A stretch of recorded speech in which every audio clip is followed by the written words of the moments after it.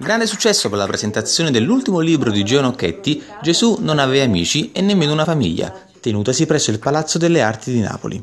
All'incontro, moderato dalla giornalista Rai Maria Laura Massa, sono intervenuti, oltre all'autore, ospiti illustri come l'assessore alla cultura Nino Daniele, il presidente dell'Autorità Nazionale Anticorruzione Raffaele Cantone, Luigi Amelillo, docente di bioetica presso l'Università Lorentale di Napoli, e il noto critico e saggista Vittorio Sgarbi. Al centro dell'opera di Nocchetti vi è la minuziosa analisi e rovesciamento di quelli che sono i luoghi comuni legati alla figura dell'amicizia, ma soprattutto della famiglia, che per le complicità che si vengono a creare al suo interno e le particolari eccezioni concesse dal diritto penale, viene considerata dall'autore come agente patogeno delle associazioni a stampo mafioso, rivendicando così un diritto ad un sano odio e alla solitudine. Numerosi gli spunti offerti dall'intervento di Vittorio Sgarbi, che, con la solita ironia e riverenza che lo contraddistinguono, si è professato come strenuo difensore dei diritti individuali piuttosto che legati a un contesto collettivo e ha sottolineato come la società in realtà si distingua profondamente dalla figura di Cristo, il quale non era sposato e si circondava di discepoli e non di amici. D'altra parte Gesù lo faceva, cioè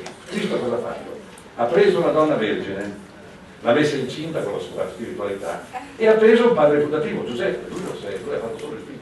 Gesù non aveva amici, nemmeno una famiglia, edito da Tullio Pironti, è un libro che a detta dell'autore permette di distinguere le amicizie reali da quelle false e offre al lettore una visione particolare, per certi versi inedita, su quella che è l'istituzione che permea maggiormente l'essere umano, la famiglia. Eh, io non pago i diritti, quindi ho fotografato il mio quarto figlio